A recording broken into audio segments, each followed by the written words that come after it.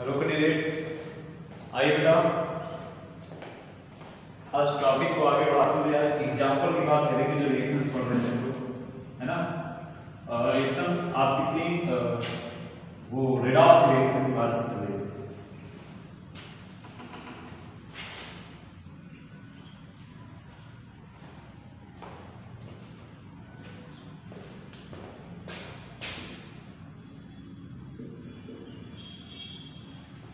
वैद्युत रसायन आप पढ़ रहे हैं।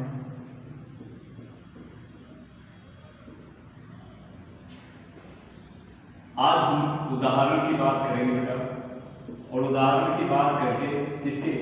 रेडॉक्स के लिए। रेडॉक्स के लिए उदाहरण की जब बात करेंगे तो अलग अलग करेंगे। है ना? बहुत ही महत्वपूर्ण उदाहरण है जैसे उस दिन हमने पढ़ा था Z N plus S C L का चलिए ये हो गया। तो इसमें क्या बना था? बना था आपका Z N C L two plus H two तो आपने यहाँ पे दो बना। ठीक है? इसमें आपको बताया गया था कि भाई जेड एन की अगर हम बात करें अभिकारक में ये अभिकारक है और ये क्या है? उत्पाद। उत्पाद में अगर हम देखते हैं तो यहाँ पर जेडेड पर कारक देखते हैं तो यहाँ पर जेडेड में कोई सीएल मतलब कोई ऋणात्मक तत्व तो नहीं है। लेकिन उत्पाद में ये तत्व तो लिखा हुआ सीएल कोई भी ऋणात्मक तत्व तो देखिए सबसे पहली कंडीशन जेडेड में ऋणात्मक तत्व जुड़ गया तो इसका मतलब जेडेड का क्या हुआ? ऑक्सीकरण चलिए।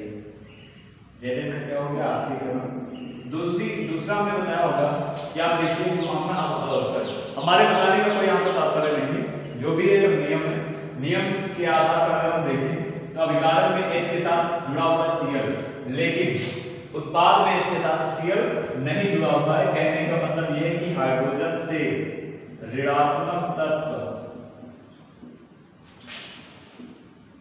तत्व क्या हो गए? मुक्त हो गए।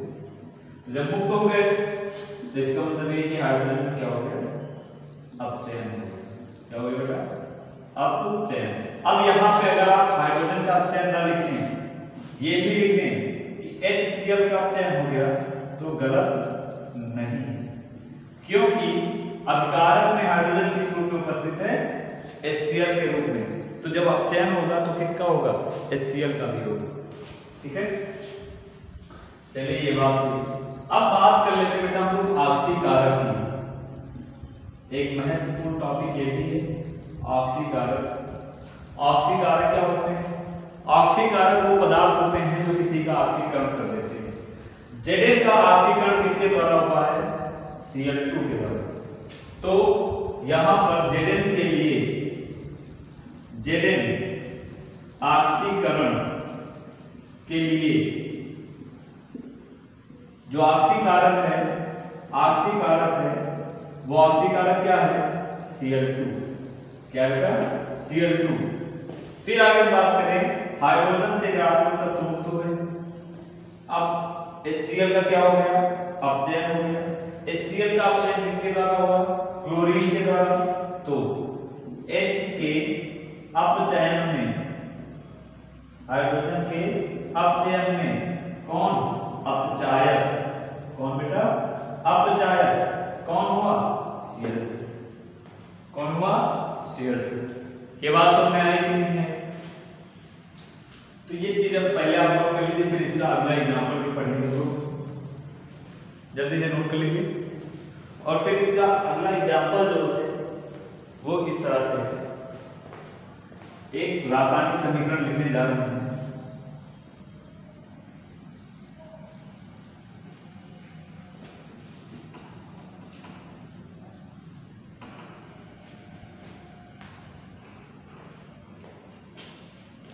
देखिए रासायनिक समीकरण है।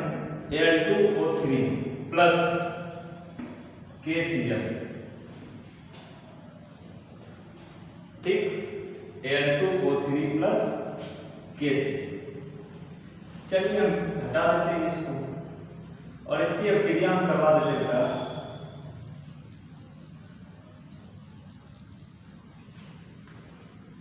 एच टू से इसकी क्रिया करवा देंगे ठीक, हाइड्रोजन गैस इसमें विक्षेपित कर दी जाएगी।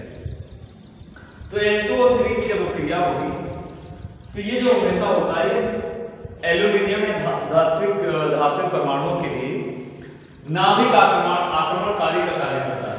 नाभिक आक्रमणकारी का मतलब ये है कि इनका जो यौगिक होगा, उस यौगिक का एक कोई ना कोई क्या होगा? नाभिक अवश्य होगा।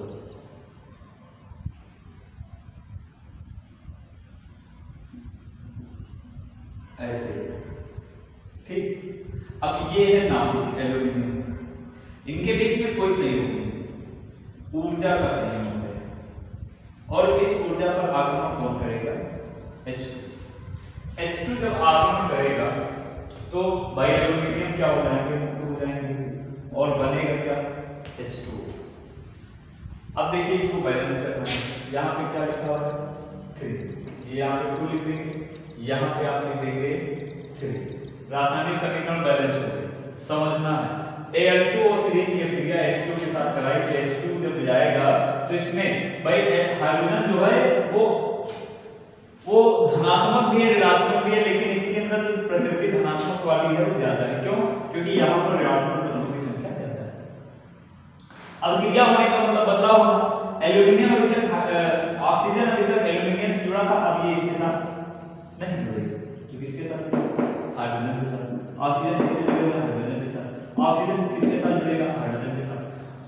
ऑक्सीजन और हाइड्रोजन का जो संयोग होता है, वो स्थिति पर किसका निर्माण करता है? जल का निर्माण करता है H2O का निर्माण करता है, निर्माण करता है। बचेगा क्या? एल्यूमिनियम के कितने परमाणु बचेंगे? दो परमाणु। यहाँ पर दो परमाणु दिए गए। ठीक है? अब गौर से अगर हम देखें इसको जानते हो अगर इसको गौर से देखा जाए तो एल्यूमिनियम या L2O3 से उत्पाद बनने में ऑक्सीजन परमाणु क्या हुआ परमाणु मुक्त मतलब एल्यूमिनियम का क्या हुआ बेटा? अपचयन। क्या हुआ? अपचयन हुआ। किसके द्वारा हुआ? हाइड्रोजन के द्वारा हुआ या फिर ऑक्सीजन के द्वारा हुआ? हाइड्रोजन इस अपचयन में भले ही प्रेरक का कार्य करे, लेकिन वो एल्यूमिनियम में हाइड्रोजन संयोग करके इसका अपचयन नहीं करा रहा है। इसका मतलब ये है कि इसका अपचयन ऑक्सीजन के द्वारा हुआ है हाइड्रोजन के द्वारा नहीं। तो इसका अपचायक जो होगा वो कौन होगा? इसका अपचायक बेटा, होगा बेटा कौन? ऑक्सीजन। फिर दूसरी कंडीशन देख लें। यहाँ पर हाइड्रोजन के पास कोई भी ऑक्सीजन नहीं जुड़ा हुआ है। लेकिन उत्पाद में आके देखते हैं तो ऑक्सीजन जाता है। हम ऐसे कह सकते हैं H2 में ऑक्सीजन परमाणु क्या हो जाता है बेटा? जुड़ जाते हैं। ऑक्सीजन परमाणु जुड़ जाते हैं। और जब ऑक्सीजन परमाणु जुड़ेंगे तो क्या हो जाएगा? हाइड्रोजन का। ऑक्सीजन का जुड़ना। हाइड्रोजन का हो जाता है ऑक्सीकरण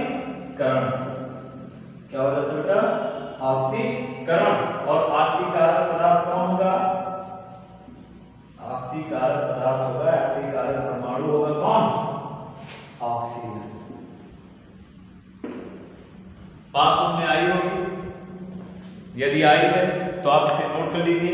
दोनों एग्जाम्पल्स एक जेड एन वाला और एक Al2O3 H2O वाला एच टू वाला।